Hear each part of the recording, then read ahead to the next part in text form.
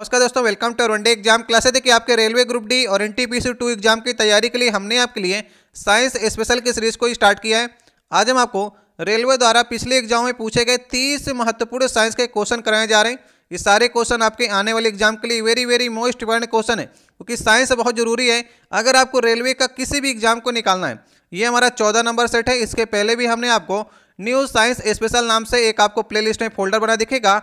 उसमें तेरह वीडियोज़ करा चुके हैं। आप लोग उनको भी जा करके देख सकते हैं। आज का देखिए पहला क्वेश्चन है, यदि कोई चिकित्सक एक मिनट में अस्सी धड़कने गिनता है तो धड़कनों की आवृत्ति कितनी होगी ये आपको बताना है।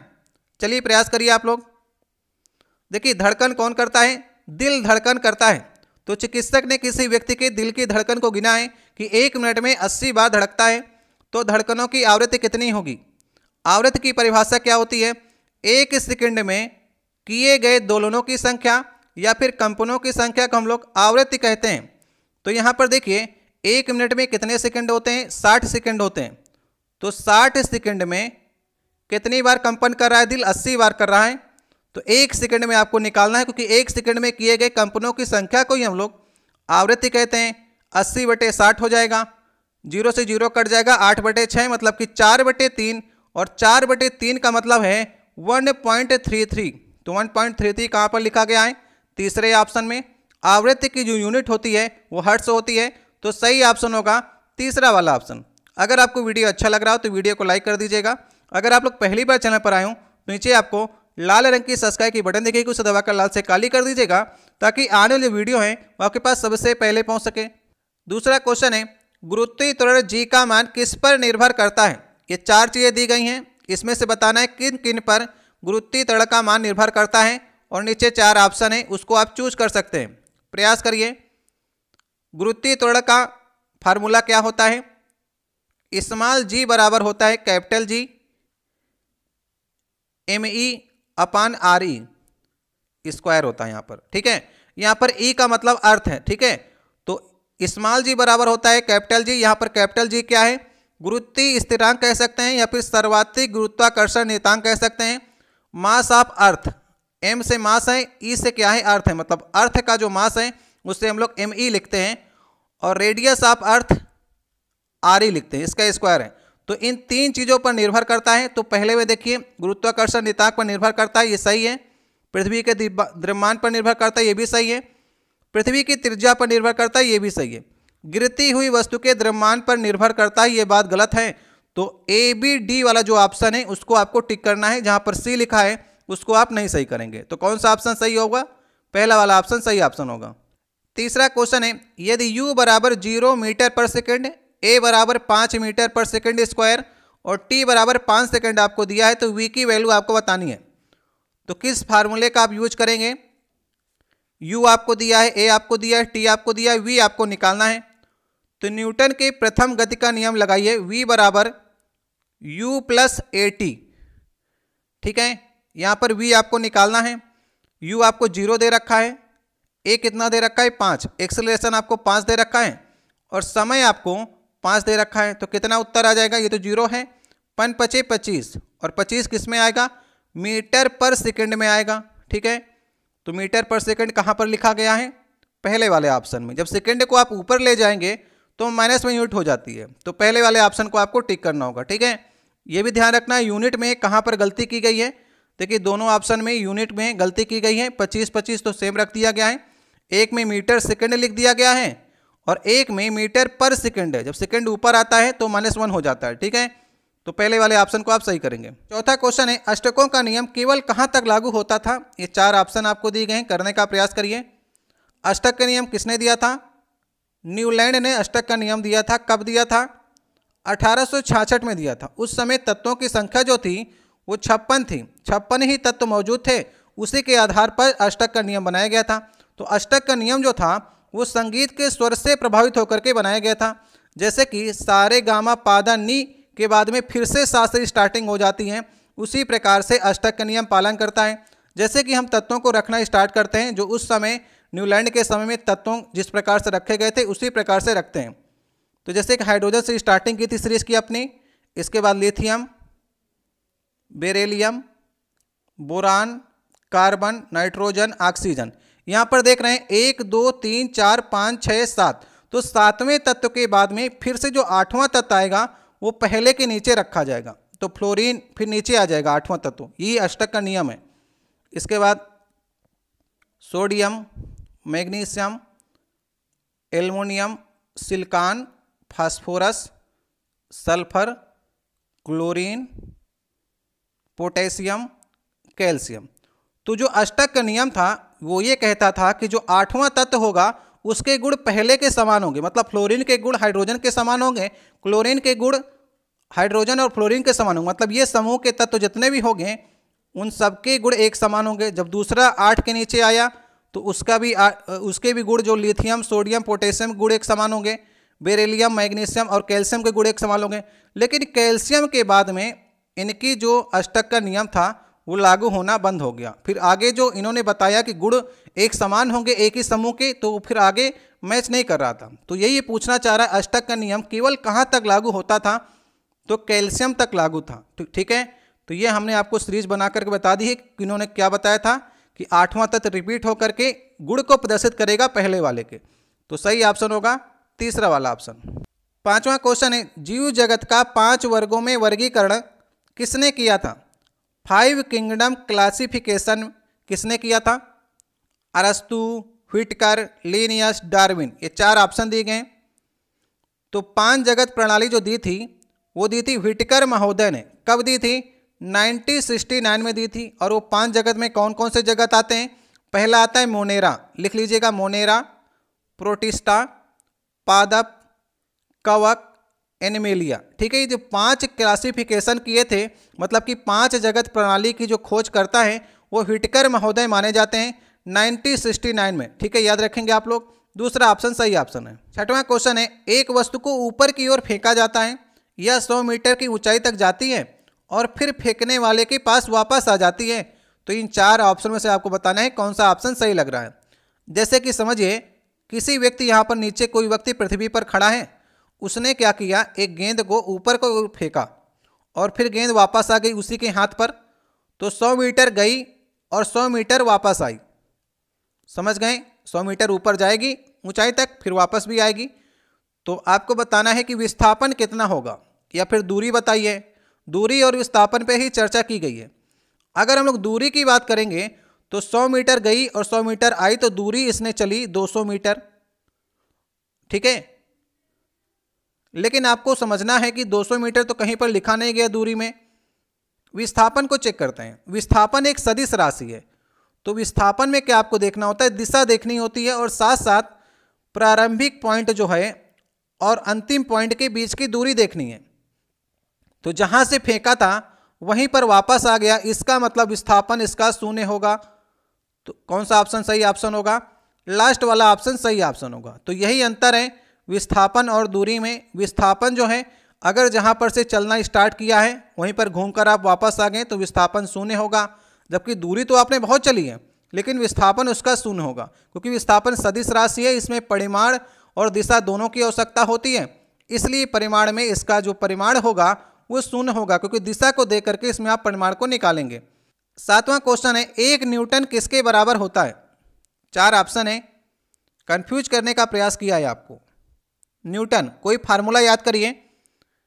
एफ़ बराबर एम ए होता है। फोर्स बराबर एम ए मतलब कि मास मल्टीप्लाई एक्सेलरेशन ये तो न्यूटन हो जाएगा। एक न्यूटन रखना है तो मास को हम लोग एक रख लेते हैं। और एक्सेलरेशन को भी एक रख लेंगे तो इसकी यूनिट को आप लोग देख लीजिए। मास की यूनिट कितनी होती है? के होती है, ठीक है? एक्सेलरेशन क्या होता है? मीटर पर सेकेंड स्क्वायर तो पर सेकेंड जब ऊपर जाएगा तो एस की पावर माइनस टू आ जाएगा। तो जहाँ पर भी के जी एम एस की पावर माइनस टू लिखा होगा, वही ऑप्शन सही ऑप्शन होगा। तो दूसरे ऑप्शन में लिखा गया है। तो किसी फार्मूले को देख करके आप आसानी से इसकी विमाओं को निकाल सकते हैं या फिर यूनिट को निकाल सकते हैं। दूसरा वाला ऑप्शन सही ऑप्शन होगा। आठवां क्वेश्चन है, मेंडलीप की आवर्त सारणी में कितने समूह हैं? ये चार ऑप्शन आपको दिए गए तो सबसे पहले अगर प्रेडिक्ट टेबल को किसी ने व्यवस्थित ढंग से लगाया था तो मिंडलीप ने ही लगाया था। कब बनी थी? मिंडलीप की आवर्त सारणी 1869 में बनी थी। उस समय तत्वों की संख्या भी आपके एग्ज़ाम में पूछता है कि जिस समय मिंडलीप ने अपनी आवर्त सारणी दी तो तत्वों की संख्या कितनी खोजे गए तत्व? तिरसठ तत्व खोजे गए थे। ठीक है, याद रखेंगे आप लोग। तो आपसे पूछा गया है कि कितने समूह थे उस समय मिंडलीप की आवर्त सारणी में? तो चलिए सबसे पहले आपको मिंडलीप की पुरानी वाली आवर्त सारणी को दिखाने का प्रयास करते हैं। तो ये देखिए, मिंडलीप की आवर्त सारणी है। इसको आप ध्यान से देखेंगे तो यहाँ पर देखिए, कहीं कहीं पर इन्होंने प्रश्नवाचक मार्क भी दे रखा है। मतलब कि मिंडलीप को इसलिए महान वैज्ञानिक माना जाता है क्योंकि जब इन्होंने प्रियोरिटी टेबल बनाई थी अपनी तो तत्वों के स्थान खाली जगह छोड़ करके चले गए थे और बताया था कि भविष्य में यहाँ पर तत्व खोजा जाएगा और उसका स्थान जो है, वो यहीं पर निश्चित करके भी गए थे। तो इसलिए मंडलीप को महान वैज्ञानिकों में गिना जाता है। अब देखते हैं हम लोग मंडलीप की आवर्त सारणी जो एट्टीन में बनाई गई थी। इसमें हम लोग आवर्तों की संख्या की बात करें तो आवर्त कैसे गिनते हैं आप? क्षैतिज लाइनों को आवर्त कहते हैं। एक, दो, तीन, चार, पाँच छः तो छः आवर्त है। वर्ग की बात करें या फिर समूह की बात करेंगे तो लंबवत लाइनें जो थी, एक, दो, तीन, चार, पाँच छः सात, आठ आठ वर्ग थे या फिर आठ समूह थे। तो आपसे पूछा था, कितने समूह हैं? आठ समूह हैं। जब भी आवर्त पूछेगा तो छः को आप लोग सही करिएगा। तो चलिए इसके उत्तर को देख लेते हैं। सही ऑप्शन कौन सा ऑप्शन होगा? पहला वाला ऑप्शन सही ऑप्शन होगा। नौवा क्वेश्चन है, यदि दो प्रतिरोधों में समान विभवांतर मौजूद है तो वे किस क्रम में जुड़े होंगे? ठीक है? चार ऑप्शन है। जैसे कि आप जानते हैं कि जो प्रतिरोध होते हैं, या तो श्रृंखला क्रम में जुड़े होते हैं, या तो समांतर क्रम में जुड़े होते हैं। तो आपसे पूछा गया है कि समान जब विमांतर हो तो वो किस क्रम में जुड़ेंगे? तो आपने देखा होगा, जब समांतर क्रम में जुड़ते हैं, सही ऑप्शन इसका दूसरा ऑप्शन है। तो आप देखते हैं कि जब समांतर क्रम में जुड़ते हैं, इस प्रकार से इसका डायग्राम बनता है। अगर हम मान लीजिए R one, R two, R three तो यहाँ पर पॉइंट देखेंगे। यहाँ पर जो विभांतर होगा वो यहीं पर विवांतर होगा। तो समान विभांतर होता है। किसमें? समांतर क्रम में जो जुड़े होते हैं। लेकिन जब श्रेणी क्रम में होते हैं तो उनका विवांतर अलग अलग होता है। धारा समान होती है। तो श्रेणी क्रम में धारा समान होती है और समांतर क्रम में विवांतर समान होता है। ये दोनों बातें आपको याद रखनी है। कौन सा ऑप्शन सही ऑप्शन है? दूसरा वाला ऑप्शन सही ऑप्शन होगा। दसवां क्वेश्चन है, जल और अन्य पदार्थों से रंगीन अशुद्धियाँ और बुरी गंधों को अवशोषित करने के लिए कार्बन के निम्नलिखित में से किस अपर रूप का उपयोग किया जाता है? ये चार ऑप्शन है। जैसे कि आप एग्ज़ाम्पल समझिए, गन्ने से चीनी बनती है और चीनी आप देखते होंगे कि बिल्कुल सफ़ेद होती है। उसमें किसी प्रकार की गंध नहीं होती है और ना ही कोई अशुद्धि होती है। तो वहाँ पर किस चीज़ का इस्तेमाल किया जाता है? तो चारकोल का इस्तेमाल किया जाता है। कार्बन का एक अपर रूप है जो चारकोल अलग अलग प्रकार के होते हैं कास्ट चारकोल होता है, बोन चारकोल होता है, चीनी चारकोल होता है, रक्त चारकोल होता है। इस प्रकार से कई प्रकार के चारकोल होते हैं। तो जो चीनी बनती है, वो किस चारकोल्स के निर्माण से बनती है, किससे उसकी अशुद्धियाँ और बुरी गंधों को अशोषित किया जाता है तो अस्थि चारकोल का उपयोग किया जाता है। अस्थि चारकोल से चीनी का निर्माण होता है। तो अभी हम लोग बात करेंगे तो चारकोल ही इसका सही ऑप्शन होगा। जब आपसे अलग अलग चार चारकोल पूछेगा तो उनमें आपको चूज़ करना है कि cast charcoal bone char charcoal, चीनी चार चारकोल, रक्त चार चारकोल में से चूज़ करिएगा कि कौन सा चीनी निर्माण में प्रयोग होता है। लेकिन अभी आपसे सिर्फ़ चारकोल के बारे में चर्चा की गई है। ज्ञान नंबर क्वेश्चन है, यहाँ पर देखिए आपको चार ऑप्शन दिए गए इन चार ऑप्शन में से आपको चूज़ करना है कि वह मुक्त ऊर्जा कौन सी है, जब एक इलेक्ट्रॉन अपने उदासीन गैसी परमाणु में जोड़ा जाता है तो उसे क्या नाम दिया जाता है? ये चार ऑप्शन आपको दिए गए हैं। तो देखिए, जब कोई गैसीय परमाणु में एक इलेक्ट्रॉन जोड़ा जाएगा मतलब कि इलेक्ट्रॉन को बांधने की प्रक्रिया है तो हम लोग इलेक्ट्रॉन बंधुता कहेंगे। कौन सा ऑप्शन सही ऑप्शन होगा? तीसरा ऑप्शन सही ऑप्शन होगा। तो आप लोग बताइएगा कि इलेक्ट्रॉन बंधुता, अगर हम लोग आवर्त सारणी की बात करेंगे तो सबसे ज़्यादा किसकी होती है? किस तत्व की? इलेक्ट्रॉन बंधुता सबसे ज़्यादा होती है। अगर हम लोग ऑप्शन की बात करेंगे तो फ्लोरीन, क्लोरीन, ब्रोमीन आयोडीन आपको चार ऑप्शन दे दिए हैं। तो बताइएगा, किस तत्व की इलेक्ट्रॉन बंधुता सबसे ज़्यादा होती है? आपके एग्ज़ाम में कई बार ये क्वेश्चन पूछा गया है। बारह नंबर क्वेश्चन है, इस आरेख में क्या प्रदर्शित कर रहा है? ये जो आरेख है, ये क्या चीज़ को प्रदर्शित कर रहा है? ये चार ऑप्शन आपको नीचे दिए गए हैं। तो आप चार ऑप्शन में देख करके समझ पा रहे होंगे कि ये बंद परिपथ है कि खुला परिपथ है। चलिए, सोचने का प्रयास करिए कि परिपथ आपको कैसा लग रहा है? अब देखिए, अगर ये बंद परिपथ होता तो इसमें विद्युत का प्रवाह हो रहा होता। एक विद्युत की वायर लगी होती इधर उधर, ठीक है? तो ये बंद परिपथ नहीं है। बंद परिपथ को आप एक तरह से और समझ सकते हैं। अगर इसमें विद्युत का प्रवाह होता, तभी इसे बंद परिपथ कहते हैं। अगर विद्युत का प्रवाह होता तो ये जो इलेक्ट्रॉन्स हैं, ये एक ही दिशा में गति कर रहे होते हैं। इसमें देखिए, इधर भी जा रहे हैं, इधर भी लौट रहे हैं। तो इनकी जो गति है, वो खुले परिपथ में ही इलेक्ट्रॉन जो हैं, वो स्वतंत्र रूप से घूम रहे हैं क्योंकि इधर भी जा रहे हैं, इधर भी जा रहे हैं और इसमें विद्युत का प्रवाह हो ही नहीं रहा है। तो खुले परिपथ में इलेक्ट्रॉनों की गति जो है, ये इस तरह से आरेख में प्रदर्शित की जा रही है। लास्ट वाला ऑप्शन सही ऑप्शन होगा। टेन नंबर क्वेश्चन है, किसी समूह में नीचे की ओर जाने पर निम्नलिखित में से क्या नहीं बढ़ता है? ये चार ऑप्शन आपको दिए गए समूह से तात्पर्य है वर्ग से। तो हम लोग पहले वाले समूह को उठा करके आपको समझाने का प्रयास करते हैं। हमने पहले समूह के सारे तत्वों को देखते हैं। हाइड्रोजन, लिथियम, सोडियम, हलीना, करे, रब से फरियाद, ठीक है? इस प्रकार से helium, lithium, sodium, potassium, rubidium, caesium, francium, ये हमने पहले जो वर्ग के सारे तत्वों को ले लिया। अगर हम लोग नीचे की ओर आते हैं तो उसमें देखेंगे धात्विक जो गुण होता है, वो उनका बढ़ता जाता है। ये सारी धातुएँ हैं और जितना नीचे तक आएँगे, इनका धातुओं का गुण जो होगा, वो बढ़ता जाएगा। परमाणु त्रिज्या की बात करेंगे, परमाणु त्रिज्या भी बढ़ेगी, क्योंकि कोषों की संख्या बढ़ रही है। हाइड्रोजन में एक कोष होगा, लिथियम में दो कोष हो जाएँगे, सोडियम में तीन कोष हो जाएँगे तो यहाँ पर कोषों की संख्या बढ़ेगी तो त्रिज्या ही बढ़ेगी, क्योंकि यहाँ पर से आप केंद्र से अगर त्रिज्या देखेंगे तो बढ़ती चली जाएगी तो परमाणु त्रिज्या ही बढ़ जाएगी। संयोजकता आवरण। अगर कोषों की संख्या बढ़ रही है तो संयोजकता का जो आवरण होगा, वो भी बढ़ता चला जाएगा। लेकिन संयोजकता जो है, वो सेम रहती है। अगर हम लोग पहले समूह की बात करेंगे तो इन सारे तत्वों की संयोजकता एक होगी, क्योंकि पहले समूह रखे गए हैं। इसलिए एक होगी हाइड्रोजन की, लिथियम की, sodium, potassium, rubidium, caesium francium इन सब की संयोजकता जो होगी, वो एक होगी। तो संयोजकता नहीं बढ़ती है, ठीक है? बाकी सारी चीज़ें बढ़ती हैं, संयोजकता सेम रहती है। ठीक है? क्योंकि एक ही वर्ग के हैं तो संयोजकता सेम होगी। नेक्स्ट वाला अगर हम लोग दूसरे समूह की देखेंगे तो दूसरे समूह की संयोजकता सारे तत्वों की दो होगी। इसी प्रकार से संयोजकता देखी जाती है। चौदह नंबर क्वेश्चन है, ध्वनि किसके कारण से उत्पन्न होती है? ये चार ऑप्शन आपको दिए गए हैं, करने का प्रयास करिए। ध्वनि किस कारण से उत्पन्न होती है? सही ऑप्शन है, वस्तु के कंपन से। वस्तु के कंपन से ही ध्वनि की तरंगे उत्पन्न होती हैं और ध्वनि तरंगे किस प्रकार की तरंगे होती हैं? अनुदैर्ध तरंगे होती हैं। बहुत बार आपके एग्ज़ाम में पूछा गया अनुदैर्ध तरंगे होती हैं। याद रखिएगा, ठीक है? ध्वनि तरंगे कैसे तरंगे होती हैं? अनुदैर्ध तरंगे होती हैं। और प्रकाश तरंगे कैसे तरंगे होती हैं? अनुप्रस्थ तरंगे होती हैं। ये दोनों आपके एग्ज़ाम में बहुत कन्फ्यूज़न करता है। प्रकाश कैसी होती हैं? अनुप्रस्थ। और ध्वनि कैसी होती हैं? अनुदर्ध मैंने आपको याद भी कराया था प्रा देखिए प्रकाश का प्रा देखेंगे तो अनुप्रस्थ आ रहा है तो अनुप्रस्थ तरंग होगी। और ध्वनि का आधा धा देखेंगे तो अनुदैर्ध आएगा। इस प्रकार से आपको कभी भी कन्फ्यूज़न नहीं होगा। ठीक है, याद रहेगा आपको? पंद्रह नंबर क्वेश्चन है, कैम्बियम को क्या कहा जाता है? ये चार ऑप्शन दिए गए हैं आपको। करने का प्रयास करिए। हमने आपको बताया था कि पादप ऊतक दो प्रकार के होते हैं। एक आपका विभाजोत्मक ऊतक, एक स्थायी ऊतक। ठीक है तो विभाजोत्मक ऊतक भी तीन प्रकार के होते हैं।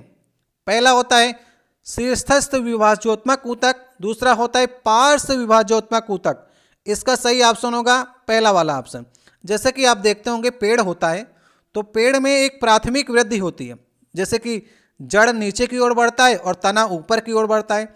लेकिन जो उसकी शाखाएँ होती हैं, वो पार्श्व मतलब किनारे की ओर बढ़ना स्टार्ट होती हैं। तो जो किनारे की ओर बढ़ना स्टार्ट होती हैं, वो किस कारण से होती हैं? कैम्बियम के कारण होती हैं। पार्श्व विभाजोत्मक ऊतक के कारण होती हैं। इसलिए सही ऑप्शन कौन सा ऑप्शन होगा? सही ऑप्शन पहला ऑप्शन होगा। तो ठीक है, याद रहेगा, ये द्वितीयक वृद्धि का स्रोत होती हैं। कैम्बियम जो होती हैं, वो द्वितीयक वृद्धि। प्राथमिक तो आपको मालूम है कि शीर्षात्मक जो विभाजोत्मक ऊतक होता है, जो जड़ को नीचे की ओर ले जाता है तना को ऊपर की ओर ले जाता है, लेकिन जो अगल बगल किनारे की ओर पार्श्व जो ले जाती हैं वो कैम्बियम का काम होता है किसी भी पादप में। सोलह नंबर क्वेश्चन है, निम्नलिखित में से किस विकल्प में कार्बन के आकृष्टली अपर रूप हैं। ये चार ऑप्शन आपको दिए गए हैं। सबसे पहले समझिए कि अपर रूप क्या होता है। कोई भी तत्व जो होता है, वो अलग अलग रूपों में अलग अलग जगह पर पाया जाता है। जैसे कि कार्बन की बात करेंगे तो कार्बन हीरे में पाया जाता है, ग्रेफाइड में पाया जाता है कोयले में पाया जाता है। इसलिए अपर रूप को दो भागों में डिवाइड किया गया है। एक क्रिस्टलीय अपर रूप होता है और एक अक्रिस्टलीय अपर रूप होता है। ठीक है? आपसे अक्रिस्टलीय वाला पूछा है। तो सबसे पहले समझते हैं कि क्रिस्टलीय अपर रूपों में किन तत्वों को रखा जाता है। क्रिस्टलीय की जो संरचना होती है, वो एक निश्चित ज्यामितीय संरचना होती है। जैसे कि क्रिस्टलीय अपर रूपों में हीरा को रखा जाता है। हीरा की संरचना जो होती है, निश्चित होती है कि चतुष्फलकी होगी। ग्रेफाइड को रखा जाता है। ग्रेफाइड की संरचना सटकोड़ी होती है। फुलरीन को रखा जाता है। फुलरीन की संरचना फुटबॉल जैसी होती है। तो क्रिस्टलीय अपर रूपों में हीरा ग्रेफाइड फुलरीन जैसे तत्वों को रखा जाता है। अक्रिस्टलीय में कार्बन एक निश्चित संरचना में नहीं होता, उनके बीच में बांड भी एक निश्चित संरचना में नहीं होता। जैसे कि कोयला हो गया, काजल हो गया, गन्ने का कोयला हो गया, कोक हो गया, ये सभी आपके अक्रिस्टलीय अपर रूपों में आएँगे। इनकी संरचना निश्चित नहीं होती है। तो सही ऑप्शन कौन सा ऑप्शन होगा? तीसरा ऑप्शन, सही ऑप्शन होगा। सत्रह नंबर क्वेश्चन है, निम्नलिखित में से कौन सा पादप प्रोटिस्टा से संबंधित नहीं है? ये चार ऑप्शन आपको दिए गए मैंने आपको बताया ना कि विटकर महोदय ने 1969 में फाइव किंगडम प्रणाली दी थी। उसमें पाँच जगत में बांटा था, मोनेरा प्रोटिस्टा पादप, कवक एनेमेलिया तो आपसे पूछा गया कौन सा पादप प्रोटिस्टा से संबंधित नहीं है? तो इसका सही ऑप्शन होगा ईस्ट या खमीर। ये कवक में आता है। कौन सा ऑप्शन सही होगा? दूसरा वाला ऑप्शन सही ऑप्शन होगा। ईस्ट या खमीर का हम लोग किसमें प्रयोग करते हैं? एल्कोहल के उद्योग में जो दारू बनाने का उद्योग होता है, उसमें काम करती है। डबल रोटी, पाव रोटी जो होती है, उसमें ईस्ट का इस्तेमाल किया जाता है। ये एक मृतोपजीवी है जो एक कोशिकी होता है। तो सही ऑप्शन होगा दूसरा वाला ऑप्शन अठारह नंबर क्वेश्चन है, विद्युत आवेश की एसआई यूनिट क्या है? ये चार ऑप्शन आपको दिए गए हैं। कुलाम, एम्पियर, वाट, ओम, बताइए, क्या आपको सही लग रहा है? विद्युत आवेश जिसे हम लोग क्यू से लिखते हैं और इसकी यूनिट होती है, कुलाम होती है। पहला वाला ऑप्शन सही ऑप्शन होगा। एम्पियर एम्पियर किसकी इकाई है? धारा की। धारा को हम लोग एम्पियर में मापते हैं। वाट किसकी है? शक्ति की। शक्ति को हम लोग वाट में मापते हैं। ओम ओम में किसको मापते हैं? प्रतिरोध। प्रतिरोध को हम लोग ओम में मापते हैं, ठीक है? तो सारी चीज़ों को याद कर लीजिएगा। अलग अलग सेट में आपके अलग अलग क्वेश्चन पूछे जाएँगे। जैसे कि हमने आपको पिछला वाला तेरहवा सेट कराया था, उसमें पूछा गया था कि विभवान्तर की यूनिट कितनी होती है? तो विभवान्तर की यूनिट जो होती है, वो वोल्ट होती है, ठीक है? वो भी आपको मैंने पिछले वाले वीडियो में बताया था। उन्नीस नंबर क्वेश्चन है, पाँच के के खतौड़े को आठ मीटर की ऊंचाई तक उठाया जाता है तो इसकी स्थिर ऊर्जा कितनी होगी? ये आपको बताना है। जी की वैल्यू आपको 10 मीटर पर सेकंड स्क्वायर दे रखी है। तो इसी ऊर्जा का आपको फार्मूला पता होगा तो आप इसे लगा लेंगे पोटेंशियल एनर्जी का। पी ई बराबर होता है पोटेंशियल एनर्जी बराबर होता है एम जी एच ये फार्मूला होता है। जहाँ पर एम की वैल्यू फाइव के जी दे रखी है जी की वैल्यू आपको दस मीटर पर सेकेंड स्क्वायर कोष्टक में दे रखी है, इसको रख लीजिए। हाइट आपको आठ मीटर दे रखी है तो आठ से मल्टीप्लाई कर लीजिए, पाँच अठे चालीस और एक ज़ीरो और और ऊर्जा जो होती है वो जूल में होती है। तो कौन सा ऑप्शन सही ऑप्शन होगा? तीसरा वाला ऑप्शन जो है, वो सही ऑप्शन होगा। वैसे देखिए तो चारों ऑप्शन में चार चार सौ है। अगर आपने दिमाग लगाया होगा तो ऊर्जा हमेशा जूल में होती है। तो जूल में होती है, इसका मतलब लगाइए ही नहीं, यूनिट से इसको आप सही कर सकते थे। तीसरा वाला ऑप्शन सही ऑप्शन है। बीस नंबर क्वेश्चन है, परमाणु त्रिज्या एक समूह में और आवर्त में कैसे बढ़ती है या घटती है, आपको बताना है। हमने आपको बताया कि समूह में अगर आप देखेंगे, वर्ग में ऊपर से नीचे की ओर आएँगे तो कोषों की संख्या बढ़ती जाती है। पहले वाले में एक कोष दूसरे वाले में दो कोष तीसरे वाले में तीन कोष इस प्रकार से कोषों की संख्या बढ़ती जाती है। अगर कोषों की संख्या बढ़ेगी तो आप ही सोचिए कि जो परमाणु की त्रिज्या होगी, वो भी तो बढ़ेगी। त्रिज्या भाई कैसे निकालते हैं आप? केंद्र से बाहरी वाले जो हमारा कोष होगा, उसके बीच की दूरी आप निकालेंगे तो जब कोषों की संख्या बढ़ती जाएगी तो परमाणु की त्रिज्या भी तो बढ़ेगी तो समूह में परमाणु की त्रिज्या बढ़ेगी। और आवर्त की बात करेंगे, आवर्त में कोष नहीं बढ़ते हैं, उसमें इलेक्ट्रॉन्स बढ़ते हैं तो इलेक्ट्रॉन्स बढ़ेंगे और नाभिक के अंदर प्रोटॉन्स होते हैं तो उनके बीच में अट्रैक्शन फोर्स बढ़ता है, अट्रैक्शन फोर्स बढ़ेगा तो उनके बीच की दूरी घटती है तो परमाणु त्रिज्या समूह में बढ़ती है और आवर्त में घटती है। कौन सा ऑप्शन सही होगा? दूसरा वाला ऑप्शन सही ऑप्शन होगा। ठीक है? इस प्रकार से आप लोग ध्यान रखिएगा। देख लीजिए एक बार और याद कर लीजिएगा। इक्कीस नंबर क्वेश्चन है। एक विलियन में 950 ग्राम पानी में 50 ग्राम सामान्य नमक होता है। विलियन में द्रव्यमान प्रतिशत द्वारा द्रव्यमान की के संदर्भ में सांद्रता आपको बतानी है। सांद्रता की गणना करना है। 50 ग्राम नमक है 950 ग्राम पानी में तो सांद्रता बताइए कितनी होगी? कैसे करेंगे? देखिए 50 ग्राम नमक है, और टोटल अगर हम विलियन की बात करेंगे तो विलियन टोटल कितना ग्राम का है? 950 ग्राम पानी है, और 50 ग्राम सामान नमक है तो टोटल विलियन 1000 ग्राम का है, जिसमें नमक 50 ग्राम है। इसी प्रकार से आपको सांद्रता निकालनी है 50 बटे एक हज़ार गुड़े सौ, परसेंटेज के लिए 100 ज़ीरो से दो ज़ीरो कट जाएँगे, एक ज़ीरो यहाँ से कट जाएगा तो पाँच परसेंट निकलेगी। तो नमक की सांद्रता जो होगी, उस विलियन में पाँच परसेंट होगी। कौन सा ऑप्शन सही ऑप्शन होगा? दूसरा वाला ऑप्शन सही ऑप्शन होगा। बाईस नंबर क्वेश्चन है, कार्बन के निम्नलिखित अपर रूपों में से विषम को आपको चुनना है। अगर आपने पिछला वाला क्वेश्चन जो अपर रूप का आया था, उसको आपने मेरा ध्यान से सुना होगा तो ये क्वेश्चन आप आसानी से लगा लेंगे। एक ही सेट के आपको सारे क्वेश्चन करा रहा हूँ। तो एक ही सेट का क्वेश्चन है। देखिए, दो प्रकारों से पूछा गया उसी सेट में। Coke, charcoal, carbon, black. मैंने आपको बताया, अपर रूप दो प्रकार के होते हैं। एक क्रिस्टली अपर रूप, एक अक्रिस्टली अपर रूप। तो क्रिस्टली अपर रूपों में ग्रेफाइड आता है, हीरा आता है फुलरीन लिख के आ जाए, या ब्लैक मास्टर लिख के आ जाए फुलरीन सी सिक्सटी कहते हैं इसे। तो ये सभी जो संरचनाएँ होती हैं, वो क्रिस्टली अपर रूपों में आती हैं। तो ग्रेफाइट क्रिस्टली अपर रूप है, बाकी कोक चारकोल कार्बन ब्लैक जो हैं अक्रिस्टली अपर रूपों में आते हैं, क्योंकि इनकी संरचना जो होती है, वो निश्चित नहीं होती है। जबकि ग्रेफाइट मैंने आपको बताया कि सटकोड़ी होता है, हीरा चतुष्फलकी होता है फुलरीन जो होता है, वो फुटबॉल की आकृति का होता है तो इस प्रकार से इन सबकी आकृति निश्चित होती है, जबकि कोक चारकोल कार्बन ब्लैक जो होते हैं अक्रिस्टली अपर रूपों में आते हैं ग्रेफाइट जो है क्रिस्टली अपर रूपों में आता है। तेईस नंबर क्वेश्चन है, आधुनिक आवर्त सारणी का पहला तत्व निम्नलिखित में से कौन सा है? तो आपने आवर्त सारणी देखी होगी। तो जो जहाँ से स्टार्टिंग होती है आवर्त सारणी की पहला तत्व कौन सा है? तो हाइड्रोजन से स्टार्टिंग होती है, ठीक है? हम लोग पहले वर्ग को पढ़ते हैं, हलीना करे रब से फरियाद तो हाइड्रोजन ही सबसे पहले आपको मिलता है।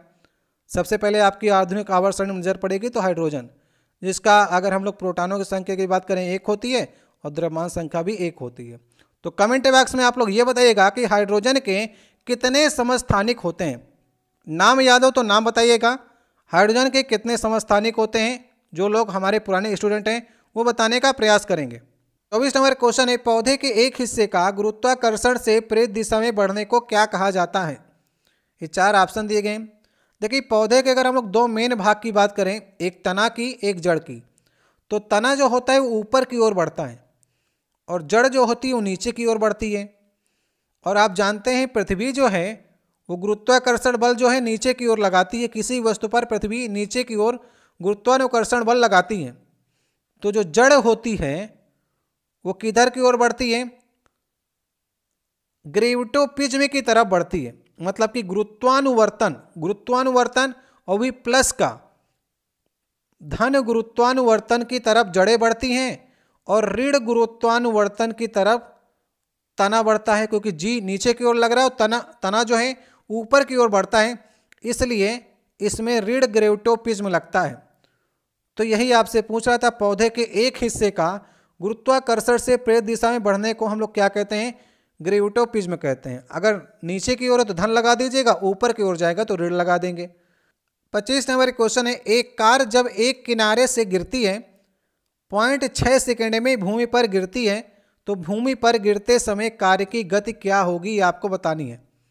जैसे कि कोई ढलान है, मान लीजिए ढलान से कार गिर रही है ऊपर से नीचे की ओर तो सबसे पहले अगर ऊपर से नीचे की ओर कार गिरती है तो ऊपर जो होता है, प्रारंभिक वेग शून्य होता है। और अंतिम वेग आपको निकालना है, और समय आपको दे रखा है, और जी का मान आपको दे रखा है। अगर ऊपर से वस्तु नीचे की ओर गिरती है, या नीचे से ऊपर की ओर जाती है तो वहाँ पर आप किस फार्मूले का यूज़ करेंगे? न्यूटन के गति के प्रथम नियम का ही यूज़ करेंगे। V बराबर u प्लस जहाँ पर टी था, वहाँ पर टी हो जाएगा। क्योंकि अगर लीनियर मोशन होता है तो हम लोग ए का प्रयोग करेंगे। अगर ऊर्ध्वाधर ऊपर या नीचे का मोशन होता है तो वहाँ पर हम लोग ग्रेविटेशन फोर्स मतलब जी का यूज़ करेंगे।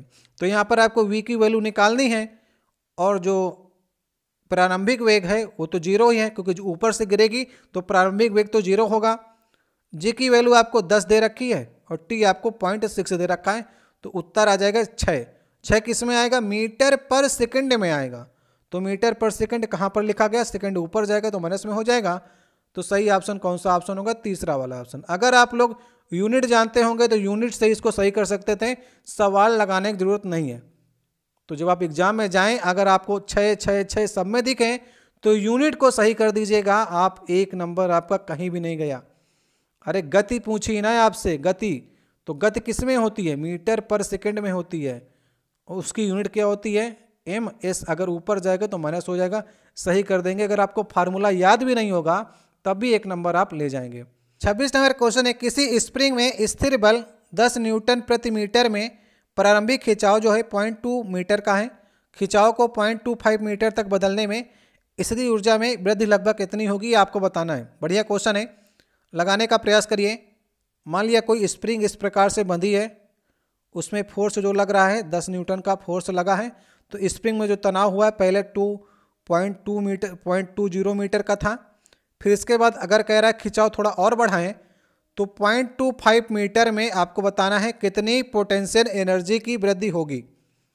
तो सबसे पहले आपको स्प्रिंग में जो स्थिति ऊर्जा का फार्मूला होता है, पोटेंशियल एनर्जी बराबर वन बाई टू के एक्स स्क्वायर ये फार्मूला होता है, जहाँ पर के की वैल्यू आपको 10 न्यूटन प्रति मीटर दे रखी है, और एक्स जो है, वो स्प्रिंग का खिंचाव है, लेकिन इसमें दो खिंचाव हैं।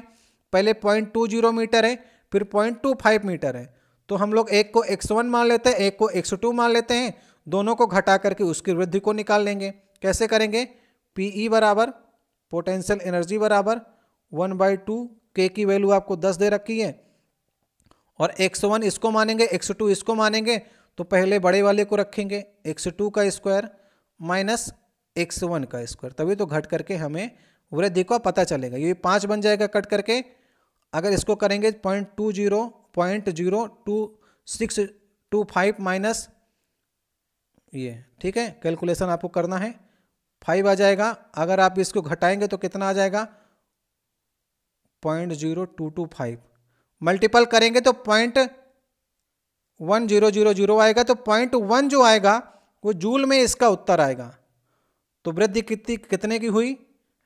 पॉइंट वन जूल की स्थिति ऊर्जा की वृद्धि हुई, सही ऑप्शन होगा, दूसरा वाला ऑप्शन सत्ताईस नंबर क्वेश्चन है, यहाँ पर देखिए नाइट्रोजन का परमाणु द्रव्यमान आपको चौदह दे रखा है। हाइड्रोजन का एक दे रखा है क्लोरीन का पैंतीस पॉइंट फाइव दे रखा है। तो अमोनियम क्लोराइड का आपको आणविक द्रव्यमान निकालना है। तो आणविक द्रव्यमान निकालने के लिए आपको फार्मूला याद होना चाहिए अमोनियम क्लोराइड का।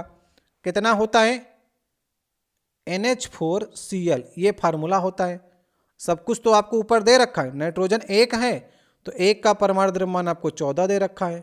हाइड्रोजन चार हैं, एक का आपको एक दे रखा है तो चार का चार होगा। क्लोरीन एक है फार्मूले में तो पैंतीस पॉइंट फाइव रख लीजिए। एक है दो होता, दुगना कर लेते हैं।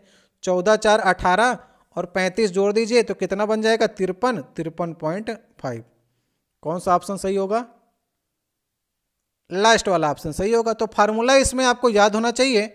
और जितना हो, मान लीजिए कि जैसे कि हमने यहाँ पर एन एच फोर है ना तो जब हाइड्रोजन एक आपको दे रखेगा तो चार गुना कर देंगे। मान लीजिए कहीं पर क्लोरीन सी एल टू होता तो हम इसको दुगना कर देते हैं। तो ये बात आपको ध्यान रखना पड़ेगा। अट्ठाईस नंबर क्वेश्चन है, लंबवत लटकते एक तार का एक सिरा निचले आखिरी सिरे से 200 न्यूटन वज़न से संलग्न भार द्वारा तना हुआ है तो वज़न ने तार को एक मिलीमीटर ताना हुआ है तो तार में संग्रहित प्रत्यास्थ ऊर्जा आपको बतानी है। मान लीजिए एक तार है यहाँ पर, उसमें 200 न्यूटन वज़न का कुछ टंगा हुआ है, कोई वस्तु टंगी हुई है तो जो 200 न्यूटन से वस्तु टंगी है तो उससे जो तार की लंबाई में वृद्धि हो गई, वो एक वन एम की वन एम से तना है, तार। इस फोर्स को अगर हम नीचे की ओर टांगेंगे तो वन एम से तार तना हुआ है तो तार में संग्रहित प्रस्ताश ऊर्जा आपको बतानी है। कैसे करेंगे? तार में संग्रहित प्रत्यास्थ ऊर्जा का फार्मूला होता है ई e बराबर one by two F into x ठीक है? इसके पहले मैंने आपको एक फार्मूला बताया, स्प्रिंग वाला, और ये बता रहे हैं तार का। दोनों को याद रखिएगा। वन बाई टू फोर्स आपको दे रखा है 200 न्यूटन का। एक्स जो तार तना है, वो एक्स है। कितना है? One M M M M की बात करेंगे, अगर हम लोग मीटर में चेंज करें तो point zero zero one metre में आएगा। तो ये तो सौ बन जाएगा कट करके। और मल्टीपल करेंगे तो पॉइंट वन पॉइंट वन बनेगा। तो पॉइंट वन किसमें होगा? जूल में होगा। इसमें भी देखिए पॉइंट वन जूल आया। ठीक है? और पहले मतलब पॉइंट वन जूल था, लेकिन दोनों के फार्मूला चेंज थे। तो कौन सा ऑप्शन सही ऑप्शन होगा?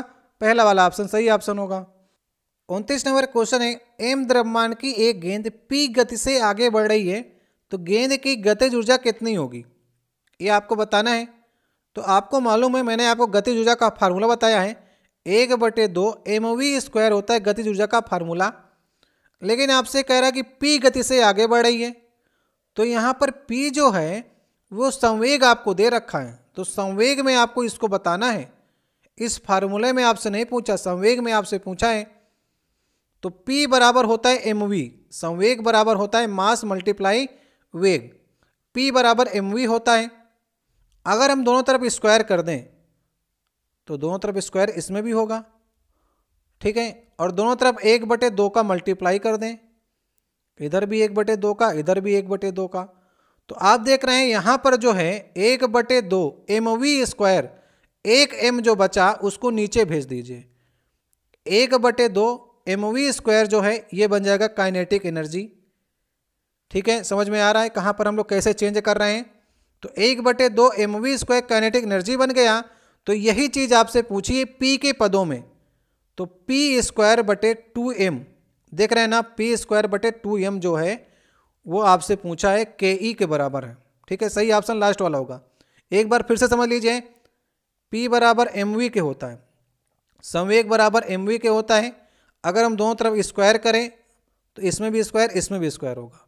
दोनों तरफ़ एक बटे दो से मल्टीप्लाई कर दें, क्योंकि एक बटे दो से हम लोग मल्टीप्लाई कर रहे हैं। हमको एक बटे दो एम वी स्क्वायर चाहिए, तभी तो कनेटिक एनर्जी में हमको फार्मूला मिलेगा। अब एक बटे दो एम वी स्क्वायर तो मिल गया, लेकिन एम यहाँ पर ज़्यादा है। एम ज़्यादा है तो यहाँ पर नीचे भेज दीजिए।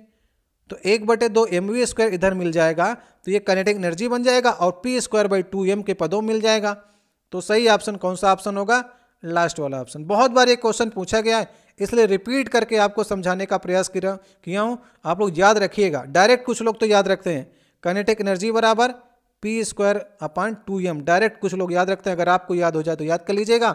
नहीं एग्ज़ाम में भूल जाए तो ऐसे करके आप निकाल लीजिएगा। आज का देखिए तीस नंबर क्वेश्चन है, आज का लास्ट क्वेश्चन होगा। निषेचन के बाद क्या बनता है?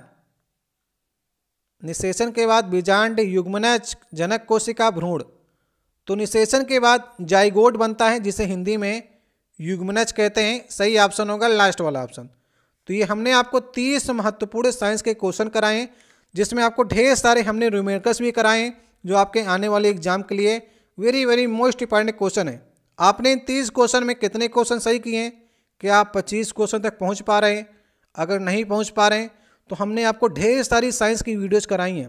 ग्रुप डी एग्ज़ाम से पहले N T P C two exam से पहले आपको इन सारी वीडियो को देखना है और लास्ट में आपके लिए क्वेश्चन छोड़े जा रहे हैं। इसको आप लोग प्रयास करिएगा। ये क्वेश्चन देखिए, आपके लिए छोड़े जा रहे हैं। इनमें से कौन सा बल से संबंधित नहीं है? चार यूनिट आपको दे रखी हैं, तीन बल की हैं, एक नहीं है। उसी को आपको कमेंट बॉक्स में बताना है। ठीक है? बता सकते हैं आप लोग, सिंपल सा क्वेश्चन आपके लिए छोड़े जा रहे हैं। नहीं आएगा तो नेक्स्ट वाली वीडियो में चर्चा करेंगे। और आपने इन तीस प्रश्नों में कितने प्रश्न के सही सही जवाब दिए आप कमेंट बॉक्स में कह सकते हैं। अगर आपको ये सीरीज़ अच्छी लगती है तो आप कमेंट बॉक्स में कह सकते हैं, जितनी आप कहेंगे, उतनी आपको साइंस स्पेशल की ये सीरीज़ हम चलाने का प्रयास करेंगे। पच्चीस क्वेश्चन तक आपका लक्ष्य होना चाहिए कि एग्ज़ाम होते होते तक आपको तीस तक पहुँचना, लेकिन अभी आप पच्चीस पहुंचिए। क्योंकि आपको मेहनत करनी है। अब की बार मेरिट बढ़नी है, चाहे N T P C two की बात करें, चाहे ग्रुप डी एग्ज़ाम की बात करेंगे, हर साल जितने ही साल आपका एग्ज़ाम बढ़ता जाएगा आगे, उतनी मेरिट का खेल होता जाएगा। इसलिए कहीं भी आपको गलती नहीं करनी है। किसी प्रश्न में डाउट होता है कमेंट बॉक्स में आप बोल सकते हैं। मिलते हैं नेक्स्ट वीडियो में। बहुत बहुत धन्यवाद।